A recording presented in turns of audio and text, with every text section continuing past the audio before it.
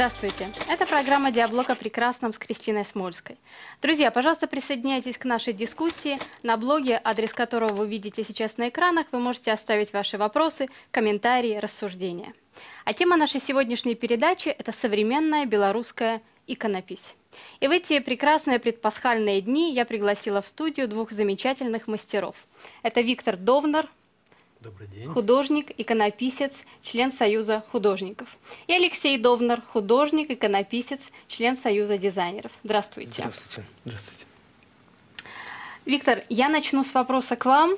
Э, У вас довольно-таки неординарный творческий путь. Вы начинали как художник-мультипликатор, а сейчас пишете иконы. Как так получилось? Ну, м, такая судьба человеческая. Да. Творческая. После, а, после армии я поступил работать э, на киностудию. И как раз там набирали цех мультипликации. У нас только-только открывался, набирали новых, молодых, интересных э, художников. Вот, э, ну, я попробовал свои силы, меня взяли. И потом, после окончания э, театрально-художественного института, раньше так академия наша называлась, я стал режиссером, познакомился со своей женой там. О, Она прекрасно. тоже э, мультипликатор и режиссер и сценарист. И мы вместе стали создавать эти фильмы. И нам это очень нравилось. Но параллельно, как у каждого творческого работника, значит, э, существует хобби.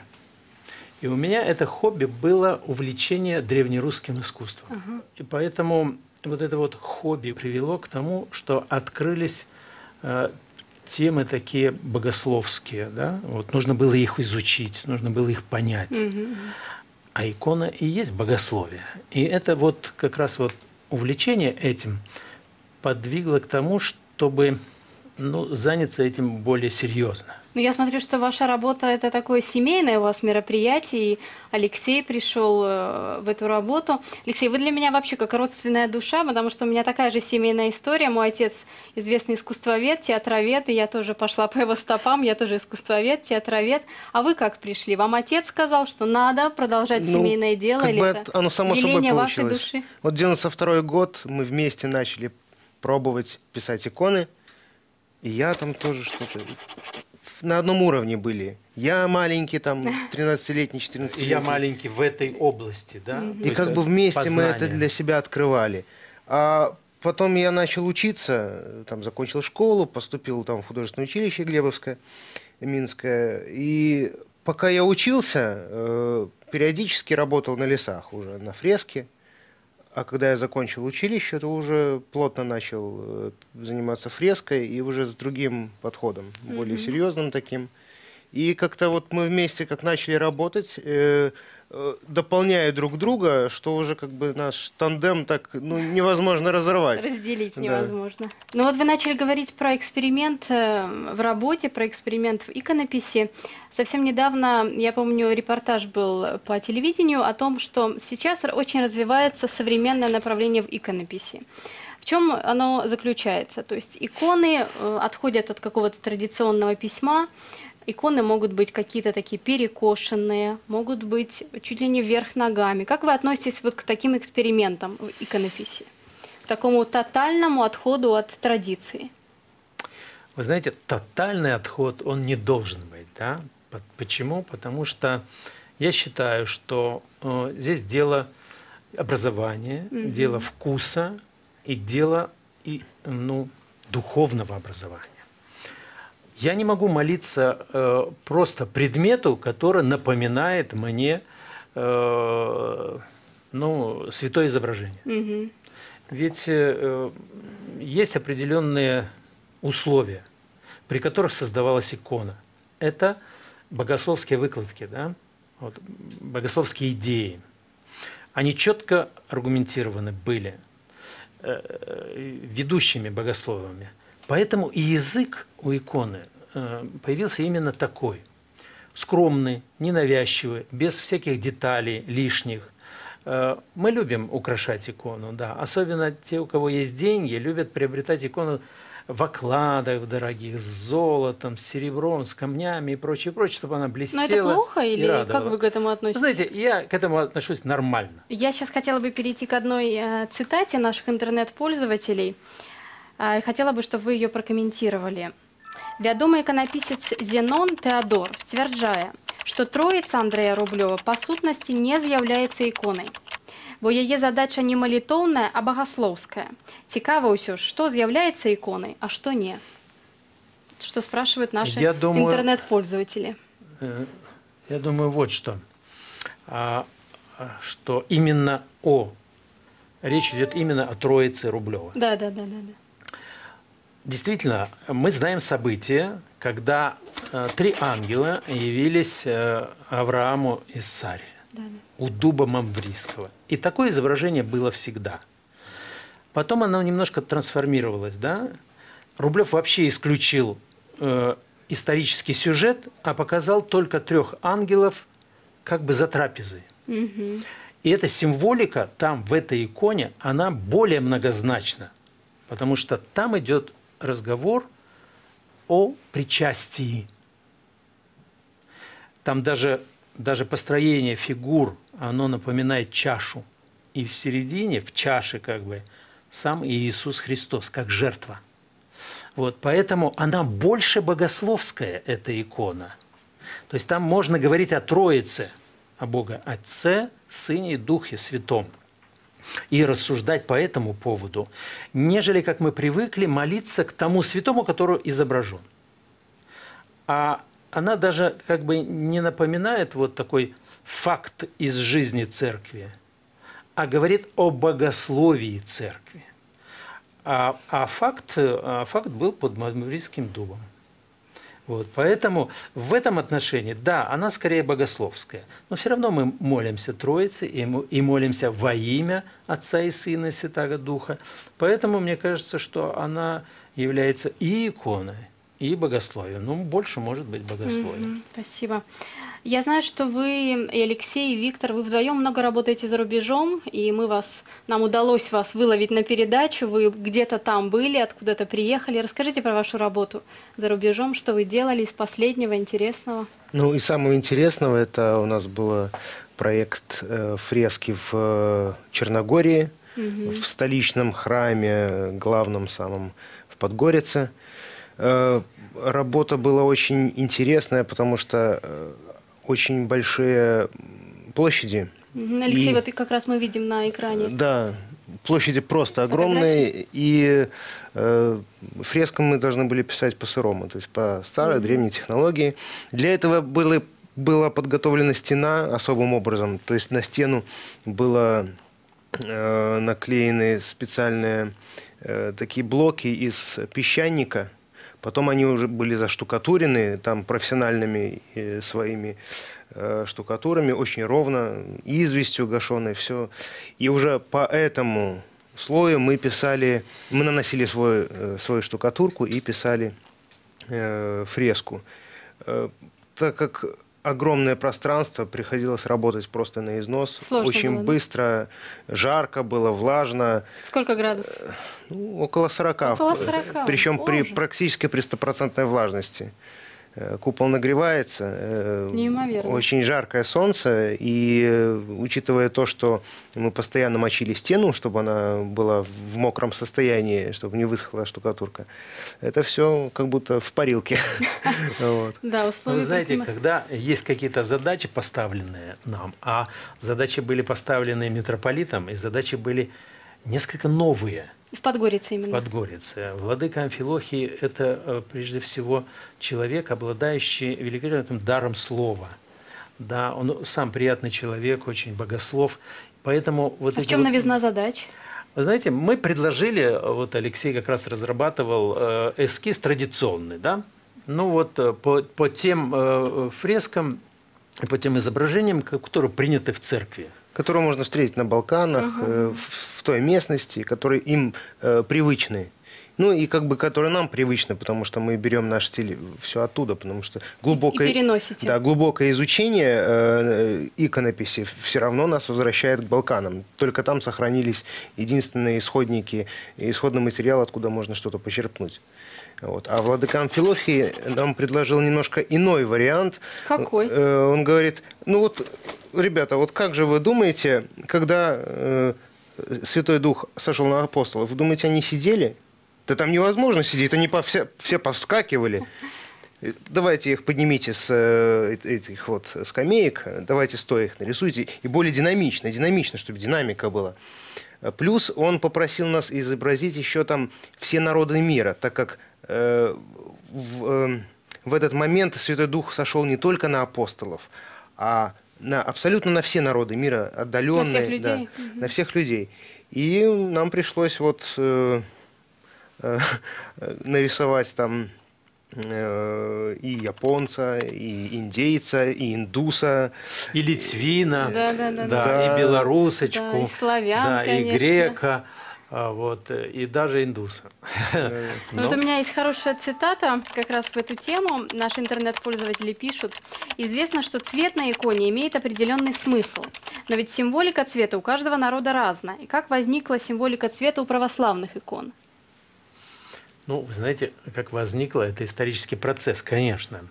Э, Если посчитать, что э, христианство берет свои, э, свое начало с Востока, то все э, принципы э, символики цвета восточные, они так и остались и перешли через Грецию э, на Русь и в Беларусь. Вот, э, через Киев, Полоцк и в Новгород. Вот, и она как бы и сохраняется до сих пор. Э, Другое дело, что у каждого народа есть э, ну, определенное как бы эм, тяготение к тем или иным м, цветам. Ну, например, был у меня такой случай, я э, просто расскажу. Мне заказали икону э, святого Георгия Победоносца на коне. Вот. И я посчитал, что икону э, можно изобразить так. Э, На светлом фоне э, черная лошадка и великолепный, значит, э, воин, который поражает победоносец. змея. Да. Я так и сделал. Получилась икона неплохая. На вороном коне все. На вороном коне, да. Ну, красиво, есть, красивый есть образ. аналоги в, э, в истории иконописи. Все хорошо. Вот. Но когда ее повесили в храме, бабушки отказались к ней подходить и сказали, к черному коню мы прикладываться не будем. Это бес. Я удивился. «К- Почему вы так считаете? Давайте нам белого коня. Ну, я посопротивлялся, правда, немножко. И потом написал белого коня. Икона не, не получилась хуже. Не потеряла, да? Нет, не потеряла. Но молиться все А, были ну, согласны. все согласны, все хорошо было. Почему? Здесь у нас символика белого цвета определенная. Белый, чистота, Да, да, да. покой, Свой символ. свет. Да, да. Это символ и христианский. Но, в принципе, э, цветовая э, символика, она понятна. Красный цвет – символ жизни и символ смерти. То есть это символ крови, символ жертвы и символ солнца, символ, посмотрите, у белорусов красный орнамент на белой э, вопротке, да, он прекрасно смотрится, красный, красивый Да, отсюда, да, да, да. прекрасно. Синий цвет, символ неба, конечно же, символ темный цвет, темно-синий, глубина, глубина мудрости божественной. Да. Белый цвет, ну мы уже сказали об этом. Ну и так далее. Черный цвет, конечно, на иконе большей частью изображается с отрицательными силами, там ад, земля, там где-то Ну, так смерть, еще да, смерть. Вот. Но если мы возьмем, например, другой народ, эфиопский, да, у них совершенно другая традиция изображения не только в символике цвета, но скорее в изображении. И если мы свою икону принесем им, они не смогут молиться перед ней. Ну, это естественно. Они привыкли к другому изображению. Я даже видел африканского Христа распятого. Расскажите. Ну, на выставке как-то в Варшаве я пришел. Это было, конечно, очень интересно. Он чисто по-африкански, знаете, вот из черного дерева, он вырезан такой черный, весь распятый. У него, у него здесь вот ничего нет, только ребра торчат, лик такой очень, можно сказать, очень гиперсовременный такой. Но знаете. крест, обычный крест, да? Да, да, да. Ну, это похоже на распятие, все. Для меня, конечно, это предмет искусства. Но для тех э, э, кто изображал это, скорее они э, вкладывают в него вот ту символику, к которой они привыкли, mm-hmm. и тот стиль, к которому они, они привыкли. Но дай бог, пусть у них такая традиция в искусстве, такое понимание красоты, дизайна, пусть у них так. Ну, каждый будет. имеет право на свою традицию, в общем-то. Конечно. У меня есть для вас еще одна цитата. Сергей, наш интернет-пользователь, спрашивает: есть ли в Минске школа иконописи, где можно заниматься, не имея за плечами художественного образования? Вот если есть такая потребность, есть желание, можно ли в Минске заниматься? И да, где? конечно, можно. Э, прежде всего, это Свято-Елизаветинский монастырь, там есть отбор, вот, mm-hmm. и туда принимают независимость от того, есть ли у тебя художественное образование или нет. Просто, Просто есть поступ... желание, и можно прийти, Поступить, да? конечно, легче с художественным образованием, это естественно. Но есть самородки. Вот. Есть самородки, которые, ну, как у, у каждой нации, у да, каждого да, народа есть, есть такие талантливые дети, которые, ну, просто вот у него все в руках. Даже образование не Конечно. нужно. Но вот вы руководите иконописной мастерской «Иконик», да, вы оба ее руководители. А что-то такое подобное практикуется у вас? То есть вы набираете каких-то учеников, может быть, ну, к вам у нас можно была попасть? Такая, была такая практика. Угу. Э, ну, столкнулись с такой проблемой, что не всем мы можем э, ввиду загрузки уделить должное внимание. внимание да. Э, Все-таки мне кажется, что очень полезно иметь какой-то багаж знаний художественных и базу для того, чтобы э, изучать икону. Потому что, ну, как можно приступить э, к написанию иконы, если не знаешь рисунка, если рука не поставлена, не знаешь цвета, как его смешивать. Это очень э, это должно быть уже на подсознательном уровне заложено. Если есть какой-то такой божественный талант у тебя, ты сможешь это сделать. Но если его нету, неоткуда это взять. То есть, если будет синий, ты будешь писать синий, не отдавая себе отчета, какой это оттенок. Угу. И это будет в итоге, ну, как-то не очень хорошо. Алексей, а вот Ольга Игоревна говорит, сейчас я снова зачитаю цитату, о том, что существует проверенная временем техника каноничного письма. И в целом она хорошо известна, но у каждого практикующего изографа есть свои наработки, свои особенности, даже открытия в этой области. Я считаю большой духовной ошибкой делать из этого секрет. Знаете, вот последняя фраза меня немножко смутила, потому что Секрета его... вы не делаете. Никто из иконописцев никогда, вот по моей практике, никогда секрета из этого не делал. Другое дело другие профессии, да, которые боятся, что у них отнимут их ремесло. Вы не боитесь? Мы не боимся. Наоборот, мы этим делимся с удовольствием. Все иконописцы этим делятся. Э, спросите у кого угодно в Минске, у кого угодно за рубежом, а мы встречаемся со многими, тем более сейчас интернет позволяет ну, весь мир охватить, э, э, иконописный я имею в виду. Все талантливые э, ребята, которые работают и которые имеют время уделить там интернету немножко, они делятся, они спрашивают, мы делимся, они делятся, проходят мастер-классы там. Вот я знаю, что вы проводите мастер-классы. Вот в Варшаве, в частности, у вас был мастер-класс.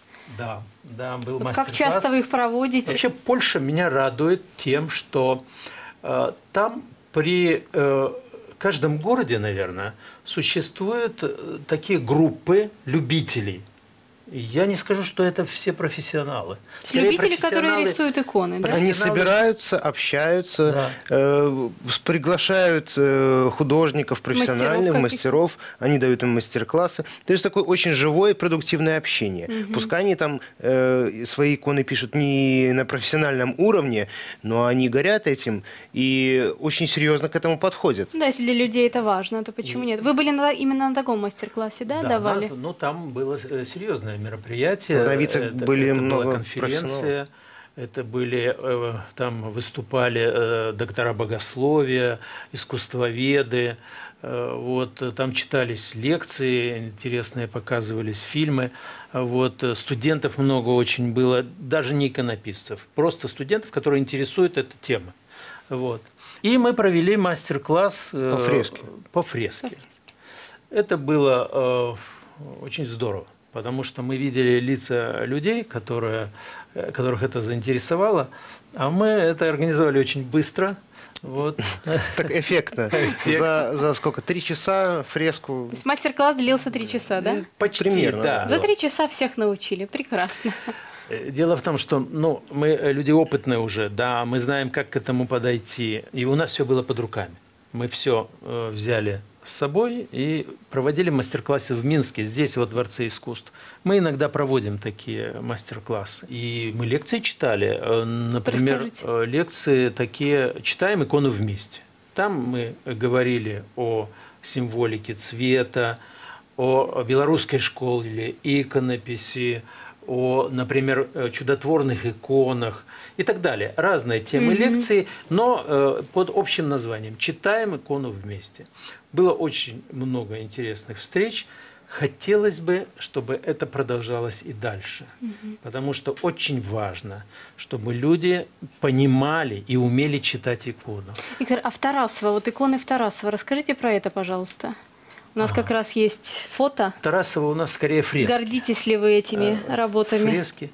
Ну, знаете, э, с приходом, э, так сказать, молодых – гордиться нечем, откровенно говоря. Гордишься, когда ты работаешь и думаешь, ах, как прекрасно, вот все замечательно. Слез с лесов, ага, тебя это уже не устраивает. Надо стремиться к лучшему. Ну, а там кто-нибудь оценит, слава богу. Кому-то это понравится, прекрасно. Ну, про Тарасова расскажите. Тарасова мы, мы начали, начали расписывать 10 лет назад, может, даже 11 уже. Это, и это был мой первый самостоятельный проект. Вот. Я вам скажу, э, такую историю расскажу. Не даете а, Алексею рассказать. Сейчас я расскажу. Дело в том, что коса на камень нашла, да, я такой традиционалист, да, Алексей у меня новатор. уже своя школа. Алексей пришел молодой, новый, и ему хотелось что-то по-новому, и я чувствую, что у нас может случиться конфликт. И вот мы на, э, как-то подумали о том, что а пусть вот возьмет молодой человек и самостоятельно огромный объект возьмет на себя. И покажет себя. И покажет, пожалуйста, хочешь, пожалуйста, я буду при тебе, я буду помогать, я буду, так сказать, э, э, всячески помогать. Но ты самостоятельно пройдешь весь этот путь. Каков результат был? А так как он уже умел это делать, он с радостью это взялся. У нас э, получилась такая интересная ситуация. Мы поменялись ролями. Да. Э, и так как у меня появилась возможность что-то вставлять свое слово первым, э, то я начал очень глубоко изучать, э, заново изучать вместе с отцом византийскую э, фреску, начиная от ее истоков. Фаюмский портрет, эллинские рисунки, миниатюры, потому что очень много оттуда пошло. И мы столько информации новой для себя откопали, мы просто вот купались в этом и что-то пробовали, экспериментировали. У нас совершенно поменялась стилистика, совершенно поменялся подход, какие-то новые ходы мы начали искать. И вот даже сейчас, когда смотришь на свои э, фрески, э, старые, ну где-то что-то не нравится, где-то уже видно, что уже мог бы быть другой уровень, а какие-то моменты, находки очень интересные, и они вот пускай такие остаются. Алексей, но вы все-таки больше бунтарь или вы все-таки больше последователь отца? Вот я не я могу понять. Я исследователь, я бы сказал. Бунта нет. Вы знаете, есть поиск. Нет, может, Алексей все-таки скажет, я, есть бунт или нет? Я, когда приступаю к работе, я стараюсь э, углубиться настолько, чтобы найти самый корень вопроса и уже от него начать э, как-то обучаться. Еще один вопрос от наших интернет-пользователей. Подскажите, пожалуйста, где можно приобрести икону наших иконописцев? В церквях или киосках, где не спрашиваю, все российского производства? Где выставляются белорусские иконописцы? Ну, во-первых, на выставках православных. Там, Минске, да? Да, конечно. Э, Елизаветинский монастырь, там большая группа ребят, которые работают, и где они, еще? И они привозят. Где еще? В киосках церквей, где работают иконописцы. Вот ну вот пишут, что мало белорус, белорусских Вы знаете икон. что? Сейчас построили столько много храмов, а иконописцев не так много. Поэтому как бы у иконописцев столько работы, что ну, сдавать иконы просто нету возможности. Вот так написал в мастерской, потом пришел куда-то в, в художественный салон или там э, в киоск. Э, То есть вам чаще да. заказывают, да, и вы пишете? Скорее так. У меня есть цитата нашего интернет пользователя. Она пишет, ваши работы прекрасны, спасибо вам огромное. Ваши работы и работы Виктора оценят и будущее поколение. Ну, мы надеемся работаете на, на это. будущее поколение, так что э, спасибо вам за это. Вы знаете, мы, наше поколение только-только подходит к осознанию тому, что такое икона. Да? Вот уже новое поколение э, оно уже освоило эти первые шаги, и оно выходит на новый уровень. Тот уровень, наверное, он будет более прекрасный, более откроет нам глаза на то, что называется иконы и что дает эта икона в познании божественного. Дорогие друзья, сегодня в гостях у нас была династия знаменитых иконописцев. Это Виктор Довнар и Алексей Довнар. Спасибо, что вы пришли к нам.